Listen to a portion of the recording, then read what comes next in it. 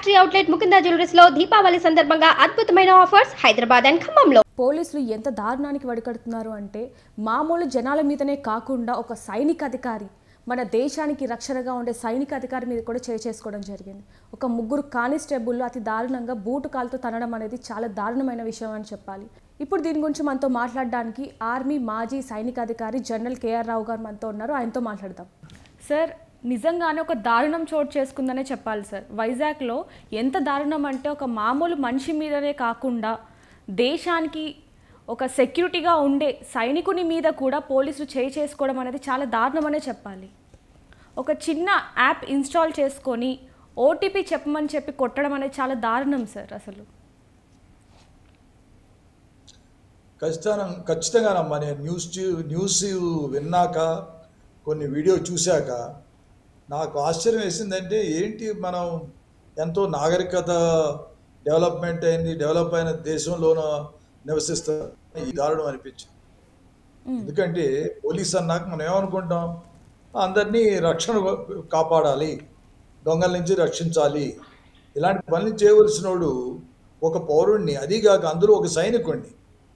ఒక ప్రస్తుతం జేఎన్కేలో పనిచేస్తున్నాడు రాష్ట్రీయ రైఫిల్లో. అంటే అతను ఇప్పుడు అతను ఎంత కష్టం మీద సెలవు మీద వచ్చి ఉంటాడు సంవత్సరానికి మా అయితే ఒక రెండేళ్ళు సెలవు మీద దొరుకుతుంది. ఆ రెండేళ్ళు కూడా ఒక్కోసారి పూర్తిగా దొరకపోవచ్చు. అలా వచ్చిన వాడు ఏదో కృష్ణారామ అనుకుంటే తన ఫ్యామిలీలో కలుస్తానికి వచ్చి తన ప్రాబ్లమ్స్ ఏమైనా ఉంటే సాల్వ్ చేసుకోవడం ఇల్లు ఏమైనా ఉంటే రిపేర్ చేయించుకోవడం పిల్లల్ని ఎక్కడ అడ్మిట్ చేయించుకోవడం స్కూల్స్లో అడ్మిట్ చేసుకోవడం తల్లిదండ్రుల్ని ఎక్కడ హాస్పిటల్కి చూపించుకోవడం ఎందుకంటే సంవత్సరం రెండు నెలలే అతనికి దొరికే టైం ఆ రెండు నెలల్లో కూడాను ఇప్పుడు పోలీసు వాళ్ళు ఇలా టైం తీసుకెళ్ళిపోతే సోల్జర్లు ఏం కావాలి? సో బేసికలీ సోల్జర్స్ ఎప్పుడన్నా ఒకటి మీరు తెలుసుకోవాల్సింది. ఎందుకంటే ఎంతోమంది వింటుంటారు ఇది. సోల్జర్స్ సెలవు మీద వస్తున్నప్పుడు కమాండింగ్ ఆఫీసర్ అనే అతను ఉంటాడు. వాళ్ళ బెటాలియన్కి రెజిమెంట్కి కమాండింగ్ ఆఫీసర్ ఉంటాడు. అతను ప్రతి సోల్జర్స్ని బ్రీఫింగ్ ఇస్తాడు వెళ్ళే ముందు. ఏమని చెప్తాడు? సెలవు మీద వెళ్ళినా సరే డిసిప్లిన్ బాగా ఉంచుకోవాలి. ఎవరితో దెబ్బలాడకూడదు. మీ ఐడెంటిటీ కార్డ్ జాగ్రత్తగా ఉండాలి. కరెక్ట్ టైంకి సెలవు నుంచి తిరిగి రావాలి. తర్వాత మీ యొక్క సెక్యూరిటీ జాగ్రత్త. అనవసరంగా తెలియని వాళ్ళతో మాట్లాడొద్దు. ఏదన్నా ప్రశ్నలు దేశం గురించి దేశ భద్రత గురించి మనకు తెలిసిన విషయాలు ఏమన్నా అడిగితే వాళ్ళు ఎవరు అని చూసి వాళ్ళని అడగాలి.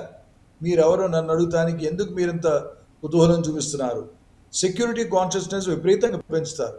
సో ప్రతి సోల్జర్కి ప్రతి రెజిమెంట్లోనూ ప్రతి బెటాలియన్లోనూ సెలవు మీద వచ్చే సోల్జర్కి అట్లీస్ట్ ఒక ఐదు పది నిమిషాలు కమాండింగ్ అవసరం మాట్లాడతాడు. అదొక మాకు డ్రిల్ అది. అదొక ఒక కష్టం అది. ఒక ట్రెడిషన్ ఒక డ్యూటీ ఆ విధంగా బ్రీఫ్ చేసి పంపిస్తారు. తర్వాత ఇది కూడా చెప్తారు. ఎప్పుడైనా ఏమైనా ప్రాబ్లం వస్తే పోలీసు వాడి దగ్గరికి వెళ్ళండి. కలెక్టర్ గారి దగ్గరికి వెళ్ళండి. దగ్గరున్న ఎన్సీసీ యూనిట్కి వెళ్ళండి. దగ్గరున్న ఆర్మీ యూనిట్కి వెళ్ళి మీ ప్రాబ్లమ్స్ ఏంటి చెప్పండి. కానీ ఎవరి మీద? ఇండిసిప్లిన్ మాత్రం చేయొద్దని చెప్తారు. అంత బ్రీఫింగ్ ఇచ్చి అంత క్రమశిక్షణతో పెంచిన సైనికుడిని ఒక పోలీసు వాడు కొట్టాడంటే మాత్రం సార్ ఆర్మీలో ఆర్మీ వాళ్ళకి ఎలాంటి లాస్ ఉంటాయి సార్? ఒకవేళ దీని మీద కనుక ఆర్మీ కోర్టులో కనుక కేసు పెడితే పోలీసుల మీద ఎలాంటి యాక్షన్ తీసుకుంటారు అంటారు? ఫస్ట్లీ ఏంటంటే ఆర్మీ లాస్ సెపరేట్గా ఉన్నాయి. రైట్ రివైజ్ అవుతుంటాయి. ఆర్మీలో కూడా కోర్ట్స్ ఉన్నాయి. లైక్ ఇప్పుడు మున్సిపల్ కోర్ట్ మనం ఉంటుంది మున్సిపల్ కోర్ట్ ఉంది డిస్ట్రిక్ట్ కోర్ట్ ఉంది హైకోర్టు ఉంది సుప్రీం కోర్ట్ అలాగే ఆర్మీలో కూడా డిఫరెంట్ లెవెల్స్ కోర్ట్స్ ఉన్నాయి. దాన్ని కోర్ట్ మార్షల్ చేసేటప్పుడు డిఫరెంట్ లెవెల్స్ కోర్ట్స్ కోర్ట్స్ ప్రకారం ఎంత పనిష్మెంట్ ఇవ్వగలరు అవి సెపరేట్ లాస్ క్లియర్గా ఉన్నాయి. Right hmm. కానీ ఆ కోర్ట్స్ ఆ లాస్ ఎప్పుడు అప్లికబుల్ ఆర్మీలో ఏదైనా అఫెన్స్ చేస్తే కానీ ఎప్పుడైతే సివిలియన్స్ ఆర్మీని కలిసి ఏదన్నా డెవలప్ లైక్ ఫర్ ఎగ్జాంపుల్ ఇప్పుడు జరిగిన దానికి దీనిలో ఒక్కోసారి ఏంటంటే డ్యూయల్ జ్యూరిస్డిక్షన్ అంటారు.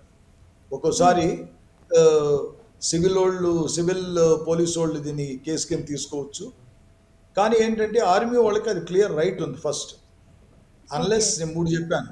రేపు మర్డర్ అబ్డక్షన్ కాకపోతే ఖచ్చితంగా ఆర్మీ వాళ్ళు ఆ కేసుని వాళ్ళంతా వాళ్ళే తీసుకుని మా కోర్టులో మేము చేసుకుంటాం అన్న ఆ, ఒక స్వేచ్ఛ ఆర్మీ రూల్స్ పర్మిట్ చేస్తాయి ఉంది. కనుక ఇప్పుడు ఎంక్వైరీలో ఒకవేళ పొరపాటున I'm just giving an example ఒకవేళ ఆర్మీ అబ్బాయి అయితే తప్పని తేలింది అనుకో ఆ ఎంక్వైరీ కంప్లీట్ మెటీరియల్ అంతా తిరిగి ఆర్మీ వాళ్ళకి ఇవ్వాల్సి ఉంటుంది ఆర్మీ వాళ్ళు అంటారు ఈ కోర్టు వెయిట్ చేసుకుంటాం ఒకవేళ అవతల వ్యక్తిది తప్పు ఉంది అంటే ఏ విధంగా ఉంటుంది సార్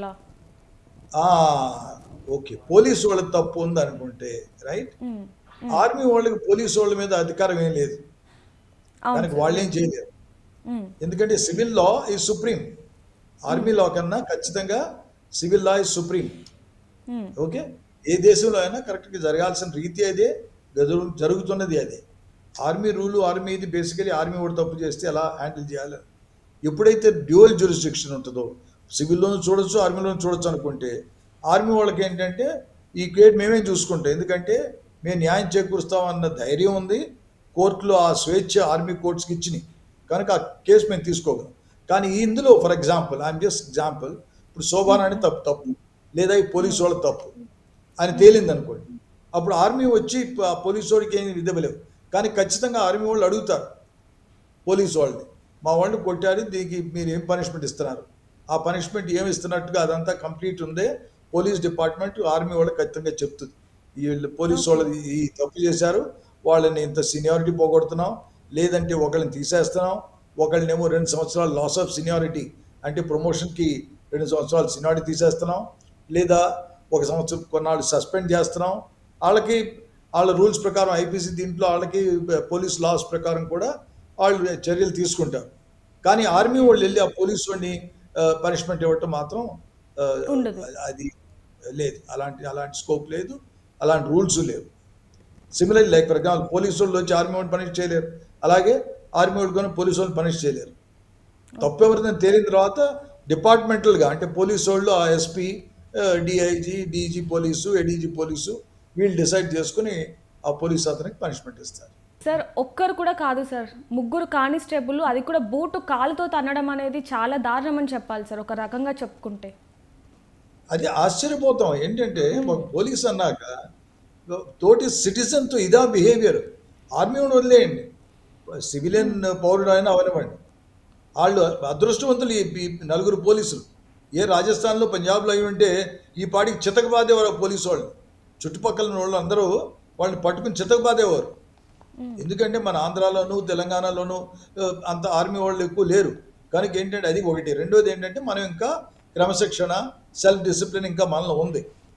అదే పంజాబ్లో మీరు ట్రై చేయండి. అది ఇలా పోలీసు వాళ్ళు ఉండండి, ఆ పట్టుకు అక్కడే అట్టిస్తారు నాలుగు పోలీసు వాడు అవును సార్. రాజస్థాన్లో అవనివ్వండి హర్యానాలో అవనివ్వండి కానీ ఏంటంటే ఏదైనా ప్రాబ్లం ఉంటే అయినా నేను నేను చూసిన వీడియో ప్రకారం ఫస్ట్ ఏమో మీరు ఎందుకు ఈ యాప్ ఎవరి మీద ఫోర్స్ చేయాలి?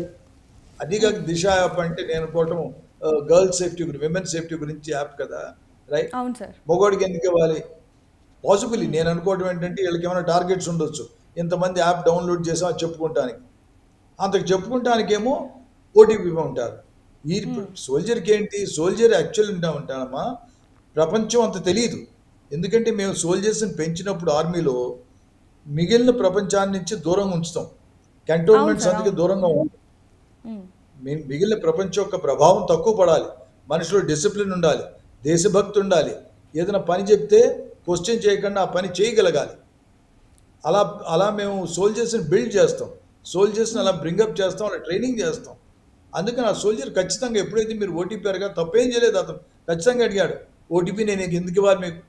ఎందుకంటే సోల్జర్స్ ఇప్పటికేంటంటే ఇంకా అదృష్టవశాత్తు వాట్సాప్ వచ్చేసినాయి అడ్వర్టైజ్మెంట్స్ వచ్చినాయి మెసేజ్ వస్తున్నాయి వస్తున్నాయి బ్యాంక్స్ నుంచి వస్తున్నాయి. మీరు ఎవరితో ఓటీపీ షేర్ చేయొద్దు అది ఇది. అది కాక ఎన్నో సైబర్ సెక్యూరిటీ మనం వింటుంటాం. డబ్బులు ఇలా మాట్లాడతారు. ఎందుకంటే సోల్జర్స్ బ్రీఫింగ్లో ఇది కూడా పాయింట్ చెప్తారు. మీరు అనవసరంగా మొబైల్ ఎవరితో షేర్ చేయొద్దు. మొబైల్ ఎవరైనా ఫోన్ చేయాలంటే ఎందుకు ఫోన్ చేయాలి? అక్కడ పక్కకి వెళ్ళి ఫోన్ చేసుకోమని చెప్పాలి. ఎందుకంటే సోల్జర్లు అమాయకులు. వాళ్ళకి లోకం పోకడ తెలియదు. వాళ్ళకి యాక్చువల్ యుద్ధం దేశాన్ని ఎలా కాపాడాలి? సరిహద్దు మీద ఎలా ఉండాలి? సరిహద్దు మీద నిఘా ఎలా చూపించాలి? ఎలా పోరాడాలనేది మాత్రమే తెలుసు సార్ వాళ్ళకి. Thank you sir thank you